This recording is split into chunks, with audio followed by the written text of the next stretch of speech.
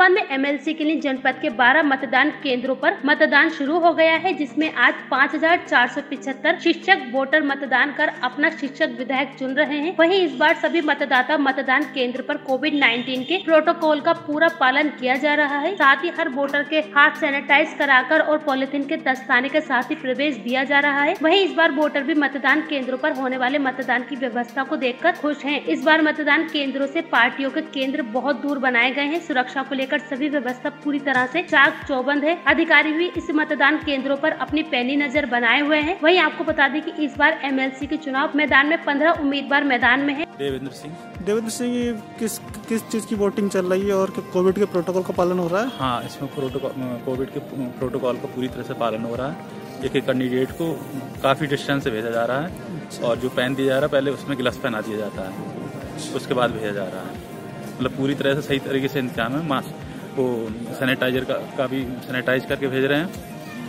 पहले और टेम्परेचर भी चेक हो रहा है। इसके बाद ये एंट्री दी जा रही है। हाँ उसके बाद एंट्री है। आप ये शिक्षक संघ का चुनाव हो रहा है और इसमें प्रोटोकॉल का पूरा ध्यान दिया गया है।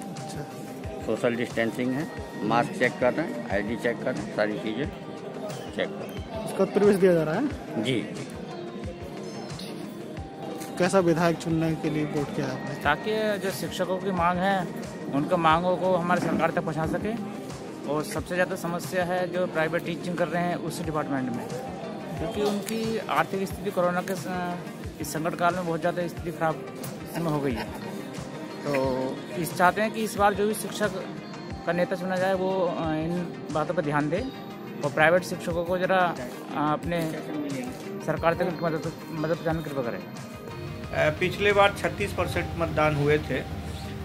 इस बार मतदाताओं की संख्या भी थी अधिक है और मतदान का प्रतिशत भी अधिक है। पिछले बार लगभग तीन हज़ार मतदाता थे इस बार पाँच हज़ार चार सौ पचहत्तर मतदाता मुरादाबाद जनपद में पंजीकृत थे। इनके मतदान के लिए बारह मतदेय स्थल बनाए गए थे। इन बारह मतदलों मत, मतदान स्थलों पर कुल तिहत्तर दशमलव zero seven percent seven three point zero seven percent मतदान हुआ है, जो विधान परिषद के निर्वाचन में सबसे ज़्यादा मतदान का प्रतिशत है। मतदाताओं में आज बहुत ज़्यादा उत्साह दिखा और लोग सुबह से ही लाइन में थे, खड़े थे और सुबह से ही पोलिंग परसेंटेज काफ़ी इंक्रीज कर रहा था। लगभग चार बजे सभी मतदान स्थलों पर लगभग मतदान पूरा हो चुका था। इक्का दुक्का इक्का दुक्का चार बजे के बाद आने लोग प्रारंभ हुए और मतदान पूर्णतः शांतिपूर्ण रहा और कहीं भी किसी तरह से कोई दिक्कत नहीं आई।